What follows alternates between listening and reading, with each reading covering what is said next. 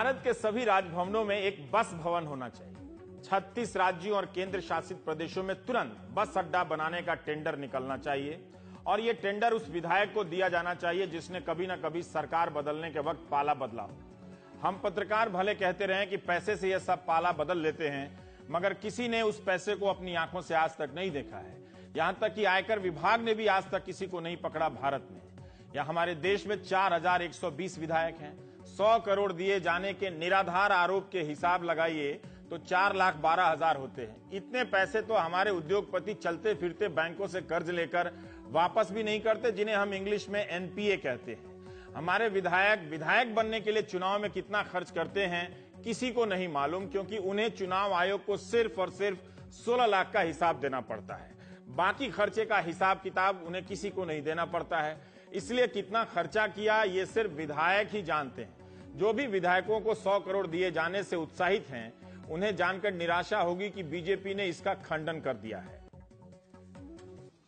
ನೂರು ಕೋಟಿ ಹಣ ಕೊಡ್ತೀವಿ ಒಂದು ಕ್ಯಾಬಿನೆಟ್ ರ್ಯಾಂಕ್ ಕೊಡ್ತೀವಿ ಅಂತ ಹೇಳಿ ಇವತ್ತು ಆಫರ್ ಕೊಡ್ತಕ್ಕಂಥದ್ದೇನಿದೆ ಈ ನೂರು ಕೋಟಿ ವೈಟ್ ಮನಿ ಕೊಡ್ತಾರೋ ಬ್ಲಾಕ್ ಮನಿ ಕೊಡ್ತಾರೋ ಕಪ್ಪಣ ಕೊಡ್ತಾ ಇದ್ದಾರೋ ಎಲ್ಲಿದೆ ಈ ಕಪ್ಪಣ ಸಂಗ್ರಹ ಮಾಡಿರೋದು 100 crore, 200 crore figures are not only imaginary, but that is what JDS and Congress does, does politics through. We are not in a habit of doing horse trading in any kind.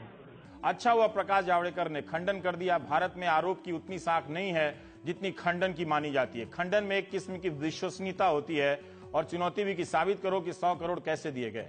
कुछ खलियर लोग ये भी कल्पना कर रहे हैं कि 100 करोड़ पर GST कितनी होगी। बताइए काले धन की अपनी कोई प्रतिष्ठा ही नहीं है। जिस दिल्ली में हर दूसरा बड़ा आदमी अपना फ़ोन रिकॉर्ड कर लिए जाने की आशंका से व्हाट्सएप कॉल किए रहता है। उस दिल्ली में बेंगलुरु से शिकायत आई है कि कर्नाटक की सरकार बीजेपी नेताओं के फ़ोन टैप कर रही है। ये बात बहुत दुख वाली है। बीजेपी नेताओं ने व्हाट्सएप कॉल का सहारा क्यों नहीं लिया? मैं तो फ़ोन टैपिंग की शिकायत पर मज़ाक कर रहा था, मगर जब शिकायत का पत्र देखा तो नॉन सीरियस से सीरियस हो गया। देखा कि बेंगलुरु सेंट्रल से बीजेपी सांसद पीसी मोहन ने गृहमंत्री राजनाथ सिंह को पत्र लिख दिया, बकायदा कि कर्नाटक की सरकार उनके नेताओं के फ़ोन टैप कर रही है। मज़ा आ जाता अगर पीसी मोहन ये भी लिख देते कि, गृहमंत्री जी, आप क्या कर रहे हैं? क्या गृह मंत्रालय के पास फ़ोन रिकॉर्डिंग की कोई व्यवस्था नहीं? बीजेपी नेताओं के फ़ोन रिकॉर्ड हो रहे हैं, आप भी तो कांग्रेस नेताओं के फ़ोन टैप करवा सकते हैं। अगर आप ऐसा कर रहे हैं तो हमें भी बताएँ।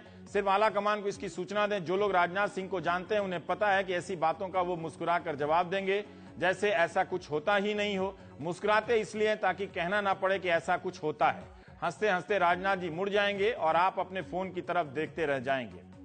कोई बुरा ना माने, आज मैं सीरियस नहीं हूँ, क्योंकि कर्नाटक की घटना बताती है कि हम संविधान को लेकर हर समय सीरियस नहीं रहते हैं। मज़ाक भी करते हैं कभी कभी धज्जियाँ भी उड़ाते हैं। संविधान सिर्फ़ पालन करने के लिए नहीं होता, धज्जियाँ उड़ाने के लिए भी होता है। ऐसा हमने कई बार साबित किया है। इंडिया का लोकतंत्र खतरे से बाहर निकल आया है, वो अब खतरा एंजॉय कर रहा है, उसको मज़ा आ रहा है। रिसोर्ट में बंद कर्नाटक के विधायकों को एक चेतावनी है, अगर उनके रिसोर्ट पर एनडीटीवी इंडिया आ रहा है तो तुरंत लोकल चैनल छोड़कर प्राइम टाइम लगा लें। कोई भी फ़ोन से 100-200 करोड़ देने का ऑफ़र करे तो फ़ोन पर बिल्कुल हाँ ना कहें, अपने फ़ोन की रिकॉर्डिंग भी चालू कर लें। फ़ोन करने वाले से आधार नंबर मांग लें, अपने दूसरे वाले फ़ोन पर तुरंत उसके बारे में गूगल सर्च करें यही इस नाम का आदमी जहाँ से फ़ोन आ रहा है, उस पार्टी में है भी या नहीं।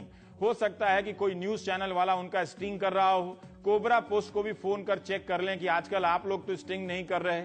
इलेक्ट्रॉनिक ट्रांसफ़र से पैसा लेने की बेवकूफ़ी बिल्कुल ना करें।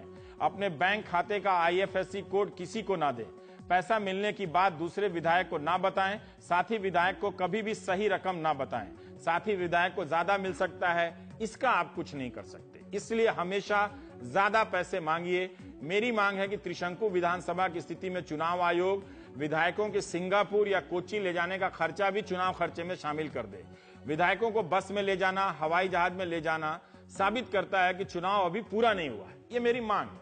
रिसोर्ट का नाम सुनते ही विधायकों से ईर्ष्या होने लगती है। पता नहीं नेटफ्लिक्स पर वे गेम ऑफ़ थ्रोन देख रहे होंगे, हर प्लेट पर कबाब और कटलेट लुढ़क रहे होंगे, थोड़ा खाते होंगे, थोड़ा छोड़ देते होंगे। आखिर इन रिसोर्ट में ऐसा क्या है जहाँ जाते ही विधायक अपनी पार्टी के प्रति लॉयल यानी निष्ठावान हो जाते हैं? इन्हें किसी आश्रम या धर्मशाला में क्यों नहीं ठहराया जाता?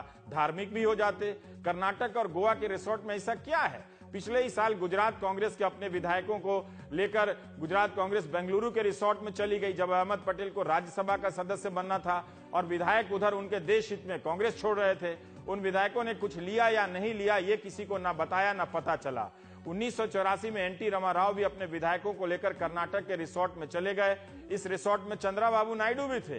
2002 में विलास राव देशमुख भी अपने विधायकों को लेकर कर्नाटक के रिसोर्ट में गए थे। अगर आप रिसोर्ट खोलने का स्टार्टअप शुरू करने की सोच रहे हैं तो सबसे पहले कर्नाटक में ही प्लॉट लें। मैं रिसोर्ट को लेकर सीरियस हूँ। अगर आपके पास रिसोर्ट है तो बिल्कुल अभी ना बेचे, अगर ना चल रहा हो तो। एक ना एक दिन विधायकों से भरी बस आपके रिसोर्ट में ज़रूर आएगी। देखिए, इस बस को चलते चलते रात हो गई है। अब ये कहीं तो रुकेगी। विधायकों को चाय, पानी और स्वच्छता के लिए कहीं तो उतरना पड़ेगा। अब पता नहीं ये बस डीजल लेने के लिए भी रुक रही है या नहीं। हवा से तो नहीं चल रही। विधायकों से भरी ये बस, क्या पता ड्राइवर का आधार कार्ड कुमार स्वामी के पास है भी या नहीं। बस ही लेकर भाजपा दफ्तर चला जाए तो क्या होगा इस वक्त? कोई है जो राहुल गांधी को तुरंत बता दे? वैसे ये बस दिन से ही चल रही है। सोचिए, सबके पास अपनी अपनी बड़ी बड़ी गाड़ियाँ हैं। बस में तो वे कभी ना चले। मगर इन विधायकों ने बस में चलकर दिखा दिया है कि वे लालच से बचने के लिए दल बदल से बचने के लिए बस में सवारी कर सकते हैं। ये दिखाया उनका रिजॉल्व। बस में बैठे इन विधायकों को देखिए गौर से कि शर्मा जी की बस मालूम पड़ती है। लगता है कि यहाँ से गए हैं उत्तर भारत से और वहाँ बस चलाने में काफ़ी सफल हुए। टोपी से आप ड्राइवर के मज़हब का अंदाज़ा लगा सकते हैं। विधायक सेकुलर हो ना हो, बस सेकुलर है। इस बस से कौन विधायक कब उतरकर सेकुलर से राष्ट्रवादी बन जाए, इसका दोष ड्राइवर को ना दें। इस वक्त कांग्रेस की चुनौती है कि उसके विधायक सेकुलर बने रहे। बीजेपी को इस इस बस में से बैठे सिर्फ़ आठ राष्ट्रवादी विधायक की ज़रूरत है। इतना ध्यान रखें कि पाला बदलने के बाद बार बार देश हित देश हित ज़रूर बोलें। ज़रूरी नहीं कि पाला बदलते ही मतदान के समय वे पाला बदले ही, वे मतदान के समय विधानसभा में पेट खराब होने का बहाना भी बना सकते हैं और अनुपस्थित हो सकते हैं। विधानसभा न आकर। इस तरह से वे कर्नाटक की जनता का भला कर देंगे। Sir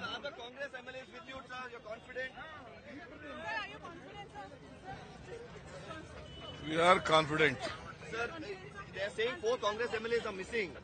any reports of that missing nobody is सोचिए, बीजेपी पर 100 करोड़ देने का आरोप लगाकर जेडीएस ने कितना गलत किया।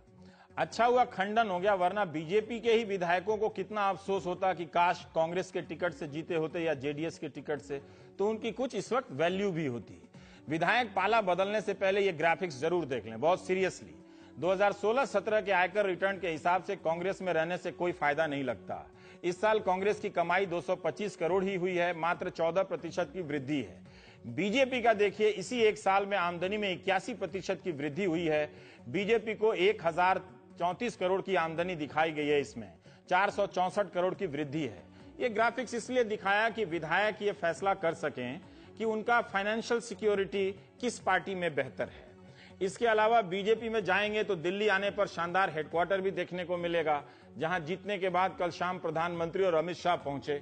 नज़ारा कितना भव्य है इमारत का, विस्तार देखिए। महाशक्ति के नेता के सामने यह इमारत भी छोटा लग रहा है। फिर भी उसकी ऊंचाई तो इतनी थी ही कि लगा कि कोई बालकनी से झाँक रहा है। जब उन्होंने बालकनी से हाथ हिलाया तो नीचे जमा हुए कार्यकर्ताओं में जोश आ गया। वे कम से कम दूर से अपने नेता को देख सके। जब प्रधानमंत्री मोदी अपने सफलतम अध्यक्ष अमित शाह को लेकर आगे बढ़े तो बाकी केंद्रीय मंत्री पीछे छूटते चले गए। किसी को यह न लगे कि वे वाकई छूट गए हैं, अपना भी देखना पड़ता है, इसलिए कुछ तेज कदम चलने लगे। अंत में हुआ ये कि राजनाथ सिंह जी ने मेकअप कर ही लिया। वे और बात है कि प्रधानमंत्री और पार्टी अध्यक्ष ने मुड़कर देखा तक नहीं, और ना ही बुलाया या उनके लिए रुका। कल प्रधानमंत्री इतनी अच्छी जीत के बाद भी सीरियस लग रहे थे। देखिए, ये होती है राजनीति। पावर का जो बोध डिस्टेंस यानी दूरी से होता है, वो नजदीकी यानी क्लोजर से नहीं होता है। कर्नाटक की घटना ने मुझे सीरियस से नॉन सीरियस इसीलिए बनाया। आज आप प्राइम टाइम में हल्का फुल्का देखिए, जब तक राज्यपाल से, राजभवन से आधिकारिक घोषणा नहीं आ जाती कि येदुरप्पा को बुलावा भेज दिया गया है। जेडीएस और कांग्रेस के विधायक अगर अपनी पार्टी में रहने का फैसला करते हैं चेंज नहीं करते तो वे क्या क्या मिस करेंगे वही बता रहा हूँ। अभी हेडक्वार्टर दिखाया। उन्हें डिस्टेंस यानी दूरी से पावर देखने का मज़ा नहीं मिलेगा। राहुल गांधी को देखिए कैसे आते हैं। पार्टी ऑफ़िस और दस जनपद के बीच एक फुटपाथ पकड़ लिया है। जब देखो इसी से आते जाते का वीडियो फुटेज दिखता है। इनके साथ चलने वाले सारे नेता इतने करीब चलते रहते हैं कि अगर राहुल रुक गए तो ये सभी उनकी पीठ पर आके गिरेंगे। राहुल को भी डिस्टेंस रखना चाहिए और हमेशा हँसते हँसते नहीं चलना चाहिए। उन पर गांधी परिवार का आरोप ठीक ही लगता है। आप ही देखिए कितने फैमिली टाइप वॉक कर रहे हैं। पावर टाइप कुछ है ही नहीं। सादगी कमज़ोरी है आज के दौर में, थोड़ी भव्यता होनी चाहिए। इस तरह बात बात में नज़दीक आ जाने वाले नेताओं में वो बात नहीं होती है, जो दूरी बनाकर रखने वालों में होती है। राहुल को परिवार की यह बीमारी छोड़नी होगी और इन सारे नेताओं को खुद से इतना दूर करना होगा कि कहीं से ना लगे कि ये इनकी पार्टी के परिवार के हैं। प्राइम टाइम के ये एपिसोड देखने के बाद विधायकों को तय करने में सुविधा होगी कि किस पार्टी में रहे। यह सब देश हित और स्थायी सरकार के लिए दिखा रहा हूँ। जो कि बहुत ज़रूरी है। जो भी पाला बदलने वाले संभा, संभावित विधायकों को हल्के में ले रहा है मज़ाक उड़ा रहा है पर्सनली मुझे बुरा लग रहा है। आप लोग प्लीज़ सीरियस हो जाइए। अब इस विजुअल को देखकर किसी को चक्कर ना आ जाए। लग सकता है कि प्रधानमंत्री राज्यपाल को कह रहे हैं कि येदुरप्पा के अलावा किसी को नहीं बुलाना है वरना मैं दोबारा बुलाना बंद कर दूँगा। जबकि यह विजुअल पुराना है। कर्नाटक के राज्यपाल मिलने पर राज्यपाल बनने पर राज्यपाल वजूभाई वाला वहाँ गए होंगे शिष्टाचार मुलाकात में। हर जगह लेख छपने लगे हैं कि वजूभाई वाला ने ही मोदी जी के लिए मणिनगर विधानसभा की सीट छोड़ी। मोदी जी ने ही उन्हें राज्यपाल बनाया, गुजरात सरकार में मंत्री बनाया। अब इस तरह से छप रहा है, जैसे लग रहा है कि वजूभाई वाला वही करेंगे जो मोदी जी कहेंगे। एक विधानसभा छोड़ने का दो दो बार इनाम, ये हुई ना बात। कांग्रेस के लोग भी राज्यपाल के बारे में इस फैक्ट का प्रचार ज़्यादा ना करें, वरना वरना उनके विधायक भी प्रेरित हो सकते हैं। वे कोई देश हित में पार्टी विरोधी फैसला ले सकते हैं। अब बहुमत न मिलने की स्थिति में अस्थायी विधायक ही स्थायी सरकार दे सकते हैं। ये फॉर्मूला है। बिना अस्थायी विधायकों के स्थायी सरकार नहीं बन सकती। कर्नाटक में तो बिल्कुल नहीं। इसलिए विधायक एक दूसरे को शक की निगाह से न देखें। वे जो भी लेंगे, किसी को पता नहीं चलेगा। जो भी करेंगे, वही पता चलेगा। जेडीएस, कांग्रेस गठबंधन अपने स्थायी विधायकों को अस्थायी बने, बनने से बचा सकती तो बचा ले।